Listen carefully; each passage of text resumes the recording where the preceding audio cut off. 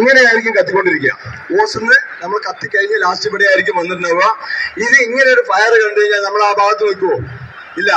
ആ ഭാഗത്ത് നിൽക്കില്ല ഈ സാധനം പൊട്ടിത്തെറിച്ചു പോകുന്നുള്ള ആ പേടി കൊണ്ട് നമ്മൾ നിൽക്കില്ല പക്ഷേ ഇങ്ങനെ ഇട്ടിട്ട് പോകുന്നതാണ് ഏറ്റവും വലിയ ആപത്ത് എന്ന് പറയുന്നത്.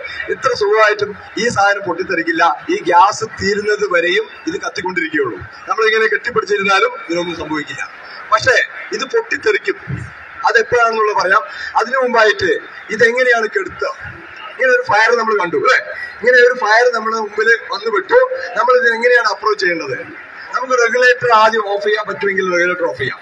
അതെങ്ങനെയാണ് ഓഫ് ചെയ്യേണ്ടത്? എന്തായാലും ഈ തീ ഉണ്ടാകുമ്പോൾ അതിന് ഫേസ് ആയിട്ട് നമ്മൾ വരില്ല അല്ലെ? അതിന്റെ ബാക്ക് വശത്തൂടെ പോകുന്നു സുഖമായിട്ട് റെഗുലേറ്റർ ഓഫ് ചെയ്യുന്നു. ഓക്കെ റെഗുലേറ്റർ ഓഫ് ചെയ്തു.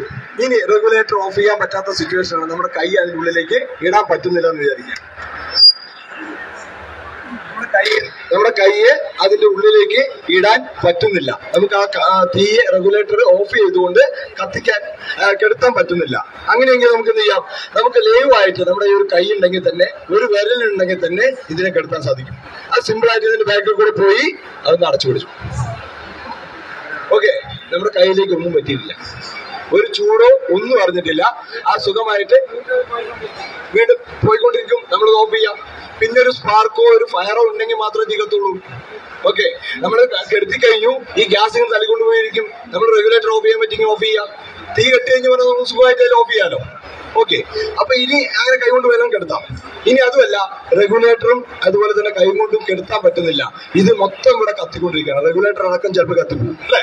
റെഗുലേറ്റർ മൊത്തം കത്തിപ്പോവും ഇതൊന്നും ചെയ്യാൻ പറ്റാത്ത അവസരമാണെങ്കിൽ നമ്മൾ കട്ടിയുള്ള പുതപ്പോ ചാക്കോ വെള്ളത്തിൽ മുക്കാം വെള്ളത്തിൽ മുക്കിയിട്ട് എന്ത് ചെയ്യുന്നു? ഇതിൽ കൊണ്ടുപോയി ഇടാം. ഓക്കെ. അപ്പൊ ഓക്സിജന്റെ റിലേഷൻ കട്ട് ചെയ്തുകൊണ്ട് കത്താൻ സഹായിക്കുന്ന വാതക ഓക്സിജൻ ആണെന്ന് അറിയാലോ അല്ലെ? എന്ത് സാധനമാണെങ്കിലും കത്തണമെങ്കിൽ എന്ത് വേണം? ഓക്സിജൻ വേണം. ഓക്കെ. അപ്പൊ നമ്മൾ എന്ത് ചെയ്യാം? ആ സാധനം കൊണ്ടുവന്ന് പുതപ്പോ അല്ലെങ്കിൽ കട്ടിയുള്ള ചാക്കോ കൊണ്ടുവന്ന് നനച്ചു കൊണ്ടുവരണം. ഇനി അതും അല്ലെങ്കിൽ ഒരു പെയിന്റ് ബക്കറ്റ് കാലിയായിട്ടുള്ള പെയിന്റ് ബക്കറ്റ് പ്ലാസ്റ്റിക് ബക്കറ്റ് വേണ്ട കേട്ടോ. അത് ഇട്ട് കഴിഞ്ഞ് പറഞ്ഞാൽ ഉരുകി പോകും. പിന്നെ അത് നന്നായി കത്തുകയുള്ളൂ കട്ടുള്ള പെയിന്റ് ബക്കറ്റ് എന്ത് ചെയ്യാം? കാൽ ബക്കറ്റ് കൊണ്ടുവന്നിട്ട് ഇതിന് മേലെ ഇടാം. ഇനി അതും അല്ലെങ്കിൽ എന്ത് ചെയ്യാം? ഒരു ബക്കറ്റ് വെള്ളം. വെള്ളം എടുത്തിട്ട് എന്ത് ചെയ്യാം? ശക്തമായിട്ട് ഒഴിച്ചാൽ മതി. ആ തീ കിടും.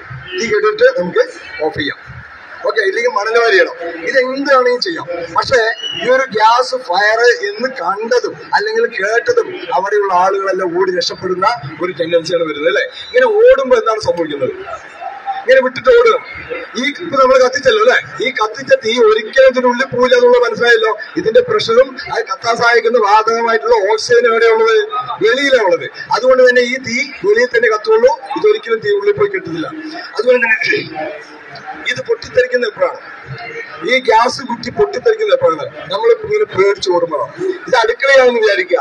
ഈ തീയെ നമ്മൾ അവിടെ കത്തിക്കൊണ്ടിരിക്കുകയാണ്. നമ്മൾ പേടിച്ചോടി ഈ തീ മറ്റുള്ള വസ്തുക്കൾ അടുക്കളയിൽ കത്തുന്ന സാധനങ്ങളായിട്ടുള്ള മറ്റു വസ്തുക്കൾ ഉണ്ടാവും അല്ലെ? പ്ലാസ്റ്റിക്കോ മറ്റുള്ള മരങ്ങളോ ഉണ്ടാവും. ഈ എന്ത് ചെയ്യും? അതിനെല്ലാം കത്തിക്കും. നമ്മൾ പേടിച്ചോടിയിരിക്കുകയാണ് അല്ലെ? നമ്മുടെ അടുക്കള മൊത്തം നിന്ന് കത്തും. ഈ സിലിണ്ടർ ആ തീയുടെ നടുക്കിലായി മാറും. അങ്ങനെയാകുമ്പോൾ ഇതിൽ നമുക്കറിയാം ലിക്വിഡ് പെട്രോളിയം ഗ്യാസ് ആണ് അല്ലെ? ഗ്യാസിനെ വെള്ളത്തിന്റെ രൂപത്തിലാണ് സ്റ്റോർ ചെയ്തിരിക്കുന്നത്. നമ്മളൊരു വെള്ളം കുക്കറിൽ വെച്ച് തിളപ്പിക്കുകയാണെങ്കിൽ എന്തായിരിക്കും അവസ്ഥ?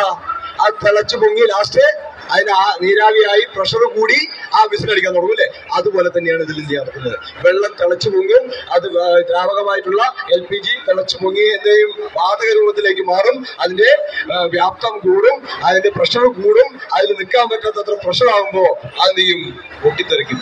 നമ്മുടെ വീട് എന്ന ഒരു സ്വപ്നം ചിലപ്പോൾ ഇല്ലാതായി മാറും. ഇതാണ് നമ്മൾ ചെയ്യുന്നത്. അപ്പൊ നമ്മൾ എന്തെയോ അതിന്റെ തുടക്കത്തിൽ തന്നെ ഗ്യാസ് ലീക്ക് ആണെങ്കിൽ ശരി ഗ്യാസ് ഫയർ ആണെങ്കിൽ ശരി നമ്മൾ അതിനെ പ്രിവെന്റ് ചെയ്യാനുള്ള ധൈര്യത്തോടു കൂടി നമ്മൾ അതിനെ അറ്റംപ്റ്റ് ചെയ്യുകയാണെങ്കിൽ സുഖമായിട്ട് നമുക്ക് ആ ലീക്കിനെയും ഫയറിനെയും ഇല്ലാതാക്കാം. വലിയൊരു ആപത്തിനെയും തന്നെ ഇല്ലാതാക്കാം. ഓക്കെ താങ്ക് ഗ്യാസ് ലീക്ക് ആയി കഴിഞ്ഞാൽ നമുക്ക് അറിയാനുള്ള മാർഗം ഡൊമസ്റ്റിക് പർപ്പസിന് എല്ലാം ഉപയോഗിക്കുന്നത് അതിലൊരു കെമിക്കൽ ചേർക്കുന്നുണ്ട് ഈഥൻ വെക്കപ്പ് എന്നുള്ളത്.